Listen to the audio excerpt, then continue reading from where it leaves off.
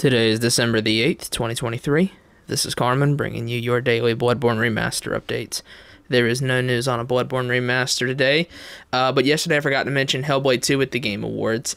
Uh, it looks great, you know. I mean, I really loved the first one, and I won't, probably won't be able to play it at launch because it'll only be on PC and Xbox. But, uh, I mean, game looks great. Graphics look good. Uh, I wish they had shown me some actual gameplay that wasn't getting, like, cut away from, but solid enough. Uh, so I didn't mention that. That game looks good. Everything else, I, I think I got everything else. Um, but the first Final Fantasy 16 DLC came out today, and what do I, Final Fantasy 16's number one op, have to say about this DLC? I have played it on regular and Final Fantasy mode. Played it through twice, got all the trophies for it. So what do I have to say about it? It was it was solid. It was okay. Uh, it didn't fix a lot of my issues. In fact, it didn't really fix any of my issues.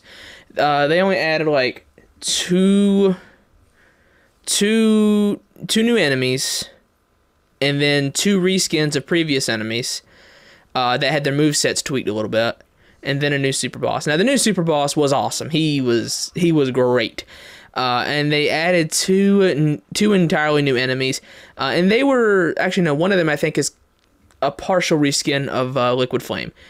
But the other one I think is completely unique. So the new enemies they added were solid. Uh, Omega, the super boss, he was awesome. Uh, like in his fight theme, the OST, oh, it was great.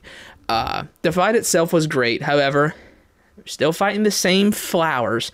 We're still fighting the same fallen enemies. We're still fighting the same dogs. We're still fighting the same birds. We're still fighting all the same enemies that we've killed hundreds of thousands of, and I'm still picking up Wyrite and magic ash and stuff I'll never use. So, the enemy variety is not fixed. However, the DLC is fun for what it was worth. The story was much better than the back half of that game's story. Um, let's see, they didn't add any new abilities. Uh, no new like actual combat abilities got added. I'm looking for stuff to get added to that central wheel in the uh, AP screen where you buy like a lunge and stuff like that. More basic mechanics like DMC style pause combos in particular.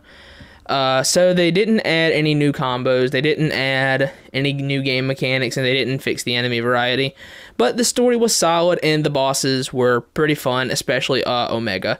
He was really good, and he was genuinely challenging. Uh, yeah, I died. I didn't die on Final Fantasy mode, but on my first time fighting him, I died. That's I think that's the only time I've ever died in FF16 was to Omega. So uh, it was fun. Does it does it fill me with confidence in the Rising Tides DLC? Not particularly. Not not particularly. My bad. I'm I'm speaking fast and my brain can work. Uh, no, not particularly. Uh, I'm still not confident that this new big zone they're adding is going to have any content in it. Uh, I'm not confident that they will add more new mechanics or that they will have any new enemies outside of the Tonberries they showed in the trailer. So uh, we will just have to wait and see. But I guess that's about it. So as for I think the uh, the Fumble Fantasy 16 video I mentioned, I'll hold off until I play the Rising Tides. When that comes out in the spring, then we'll make the Final Fantasy 16 video. Uh, until then, though, we will not. So yeah that's about it. There. Oh wait, no, I forgot one more thing. One more thing. One more thing.